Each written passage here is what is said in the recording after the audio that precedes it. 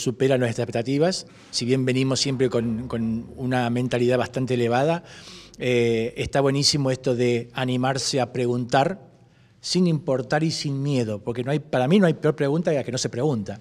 Entonces, hay tanta necesidad desde el otro lado del convencional con respecto a la vida de discapacidad que si bien tenemos las herramientas, muchas veces no las damos por motivos X, pero también está buenísimo que nos pregunten. No me importa lo que pregunten, pregunten, pregunten y vuelvan a preguntar. Es la única manera que tenemos de compartir nuestras herramientas para que ellos puedan eh, trabajar en igualdad de condiciones con nosotros, porque si no estamos hablando a una pared. O ellos mismos siguen trabajando sin ver cosas que realmente eh, son naturales pero bueno, eh, el tema es ese, es la convivencia necesaria que tenemos que tener. ¿Cuáles son algunas de las cuestiones que se han preguntado, que se han planteado? Rondó mucho en las necesidades o cómo vemos nosotros la vida en la universidad o en la vida civil, me refiero a la ciudad en general. Eh, también este, se habla de sobre las herramientas que, manejamos nosotros.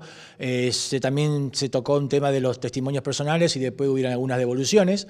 yo creo que eh, han preguntado mucho, pero estoy convencido que tienen 20.000 preguntas más para hacer. Decía recién Sergio del miedo a preguntar, del miedo a involucrarse también. Bueno, ¿qué desafíos tenemos como sociedad para poder lograr la inclusión legítima? Como sociedad. wow.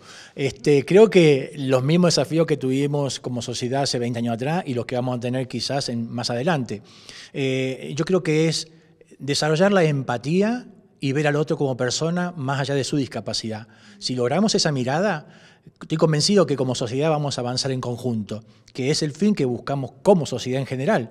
Pero eh, muchas veces en lo personal lo querés hacer, pero depende de dónde estés, en qué ambiente te manejes, muchas veces no lo podés hacer.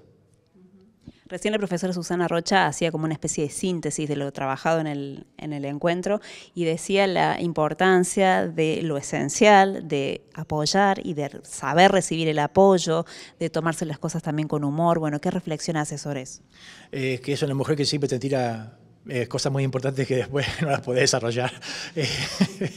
no, pero eh, yo creo que eh, es importante los dos extremos ser sensibles y flexibles a lo que viene porque muchas veces nosotros desde este lado ponemos duros, eh, nos enojamos muchas veces, nuestro ímpetu es, así, eh, nos, enojamos en la no comprensión de la sociedad hacia nosotros, pero también nos olvidamos que si nosotros no les damos nuestras herramientas, nunca ellos van a poder cambiar la actitud. No es que no quieran o sean soberbios, no, nosotros tenemos la obligación de entregar para poder después recibir, si no, nunca vamos a mejorar.